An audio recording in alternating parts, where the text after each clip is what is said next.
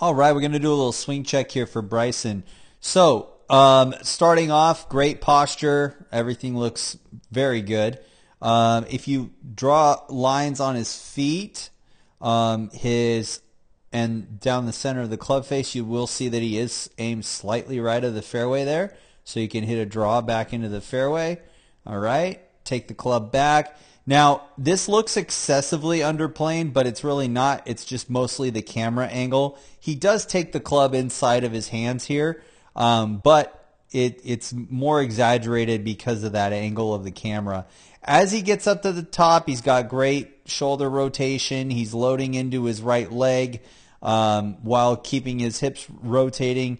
Um, as he gets up to the top, he's going to start to drop that club down. Now, this is where the magic happens. So left hip starts to clear out of the way.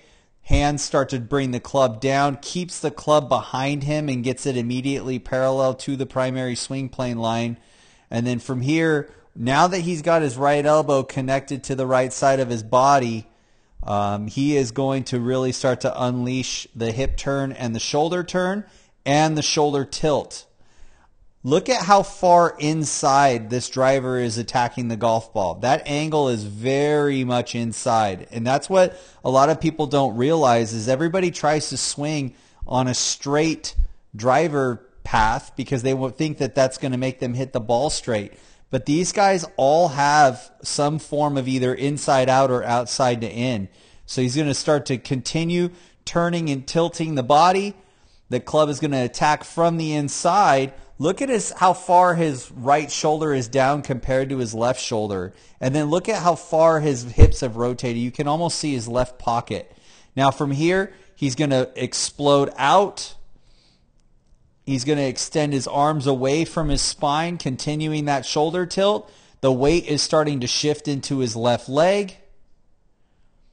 Boom. And then you'll see that exit path of the golf club is just over the left shoulder. That's exactly where it should be and that ball takes out takes off out to the right just like he had planned, clears that tree and starts to draw back to the fairway. Um, overall, you know, he gets everything loaded onto his left side here in the finish. Overall, obviously, it's a great swing. Um, and what you'll find is that all these tour pros have uh, just a few fundamentals that they all do almost identically. Um, and that is hip turn, shoulder turn, and shoulder tilt.